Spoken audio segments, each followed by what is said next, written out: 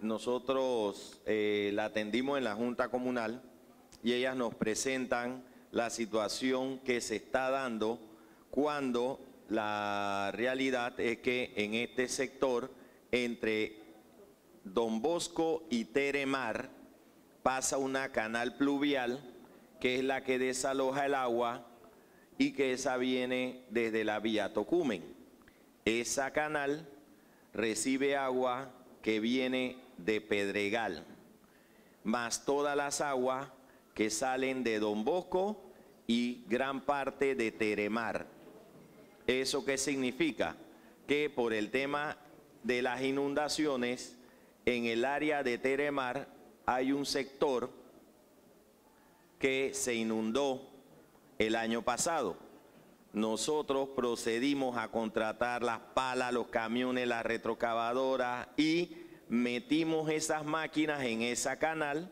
abrimos la canal, limpiamos toda la línea de servidumbre y después que terminamos el trabajo nos retiramos, pero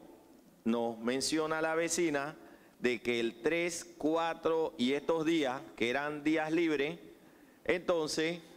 una vecina le da por construir una casa en el pedazo de servidumbre detrás de las casas de Don Bosco con la canal que le estoy mencionando. ¿Esto qué significa?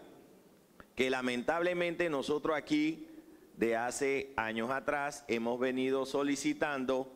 que por parte de Ingeniería Municipal, que creo que son los responsables de garantizar el tema de las construcciones y los abusos de los vecinos en las áreas de servidumbre que afectan los canales pluviales y que por lógica después no se le puede dar mantenimiento porque los espacios estos se dejan para que se puedan meter las máquinas y hacer el trabajo de limpiar los canales pluviales. Por lógico entonces deben de estar libres y desocupados, pero hay algunos vecinos que ignorando la responsabilidad y el problema de las inundaciones, entonces construyen en estos, en estos perímetros de servidumbre. Hoy día la vecina está presentando la queja aquí en el Consejo Municipal porque ya eso se presentó en Ingeniería Municipal, ella nos llevó las copias de los documentos y sí le pido al ingeniero municipal de que eh, recuerde que yo le entregué una carpeta con todos los documentos estos. Él me contestó que ya eso lo estaban viendo en ingeniería municipal, pero la vecina me presenta un documento que le dan de una respuesta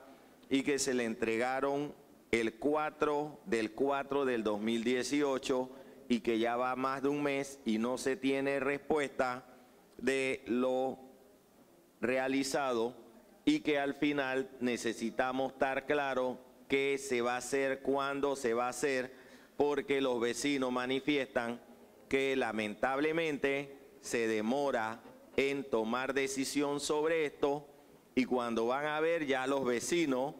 tienen hijos, tienen de todo ahí, criadero, y entonces después quién le quiere quitar la casa, porque entonces después los malos son los que van a quitarle la casa y los buenos son ellos que entonces se ponen con